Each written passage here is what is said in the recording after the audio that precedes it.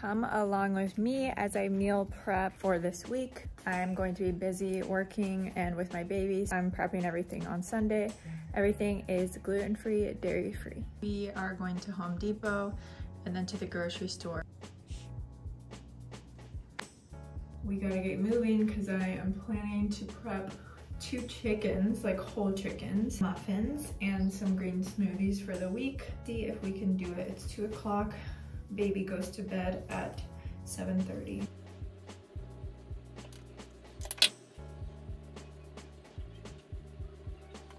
We got the grocery list all written out. Папочка, любит цыпочка. We are having a quick milk break before we go into Costco. We are going all out with the whole chickens. What do you think, baby? Someone pooped their pants.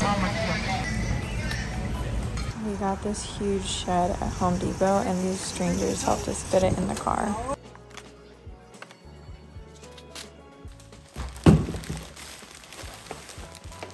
Okay, it's 4.30. I'm going to unload these and we gotta get to work fast. I spent $211 on this small amount of groceries, and I know that sounds crazy, but first of all, we live on an island. Everything's more expensive. And second of all, organic is really important to me. I know that whatever I'm putting in my body, it's feeding both me and my baby, and it's literally making up my DNA. So for me, health is everything, and eating healthy is where it begins. I hate having old food in my fridge, so whenever I buy new groceries, I always have to clean out my fridge. I'm gonna be making some ghee, so I'm taking out my butter. Ghee is basically clarified butter. It's separating out the milk solids solids, which usually are what hurt your tummy if you can't have dairy. I use this on everything. I'm gonna start by prepping my first chicken. I don't know if I'll be able to get both done today, but here I am rinsing my chicken.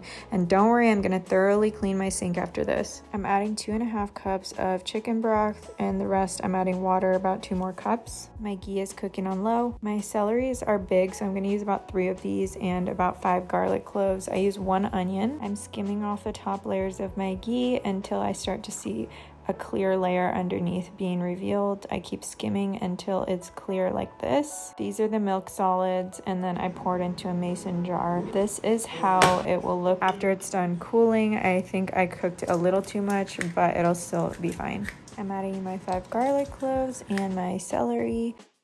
And finally, a bunch of cilantro chopped up. Adding in about three teaspoons of salt for taste and mix it all up.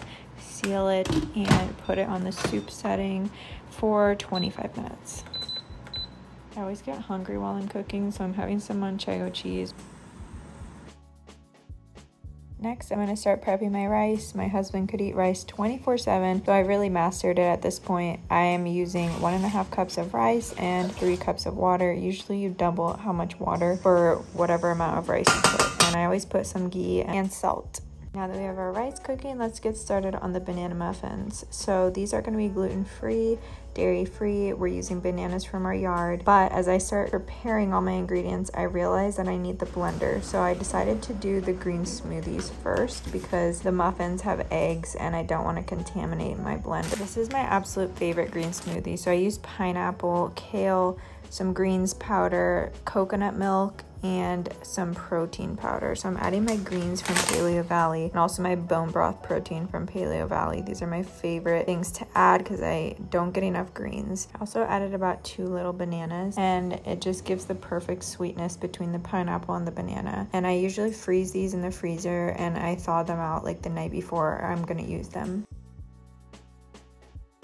I never tie my rice, but it looks pretty good to me. I'm mixing it up to see the texture and I'm taking it off the heat. The key to amazing rice is letting it cool with the lid off. I preheat my oven to 350 and I get started adding the flaxseed meal, the cassava flour, I didn't show some of the dry ingredients, so I wrote them out on the screen for you guys. I then add a third cup of coconut milk, three small bananas, and all my wet ingredients, including some avocado oil, maple syrup, egg, and vanilla extract to my blender. Then I blend it all up.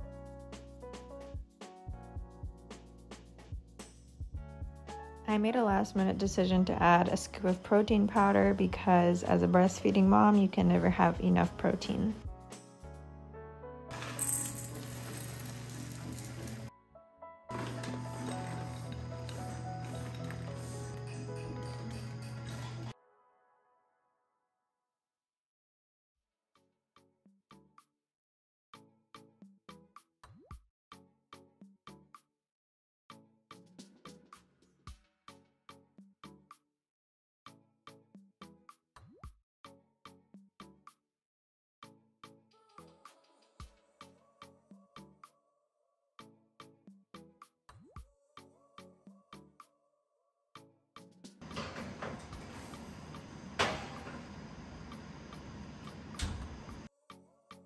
Basically, my camera died here, but I took out my chicken and I asked my husband to help me shred it while I put all my prepped veggies into the crock pot again for a couple more minutes on the soup setting. And then you just put the shredded chicken back in with the veggies and the broth, and everything's ready. What do you think? Mm. Healthy and delicious. This is gonna make me poop well. That is a wrap. I was able to get a whole chicken cooked. Felix helped me peel it and I still have some chicken left so I'm thinking to make some pasta with it later this week. I didn't get everything done that I wanted to but I got a lot done. We have a soup, we have rice, we have ghee, we have muffins, and we have a green smoothie. We're all happy with what we got done. And you bought an organic turkey. And I have some organic turkey slices in the fridge. Which is rare. Which is rare here in Puerto Rico. Uh, I just need to clean up. The baby's sleeping. Things are going according to plan. Thank God. And now we're going to be planning the auction tomorrow. And now I'm going to do about an hour of work and then hit the hay so I can get some rest. Oh, and then now I'm in the background. And that's everything. I hope you guys enjoyed this video. If you like this type of video, let me know in the comments. Comment your favorite soup. And comment your favorite thing to meal prep because I need some ideas. or your favorite soup. See you guys next time. I want to know your favorite soup. Felix wants to know your favorite soup. Mm. Bye.